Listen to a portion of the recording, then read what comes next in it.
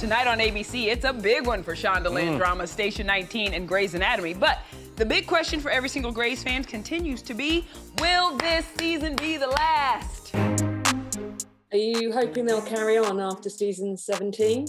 It will be interesting to see what happens in the next few months. Patrick Dempsey gave a subtle hint, and now Grey's showrunner Krista Vernoff just revealed she's planning a season 17 ender that could function as either a season finale or a series finale. Sources tell The Hollywood Reporter Ellen Pompeo has been in negotiations for months with ABC. She's the highest paid woman on network TV, making 20 million a year, and her contract's up at the end of the season. I miss you! I know.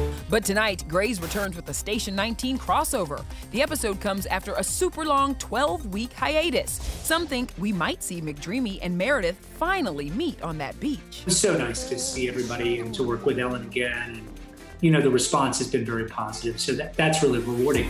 We do know there's more McDreamy to come. I know that America loves it, and I know that they'd be smart to get as much in there as possible.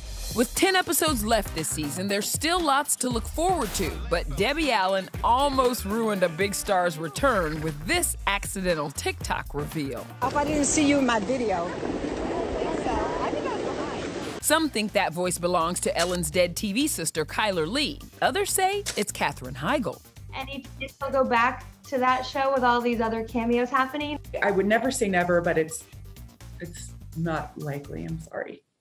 Is there a more shocking scene coming up than Patrick Dempsey's return? Camilla, told- oh, there is. Okay.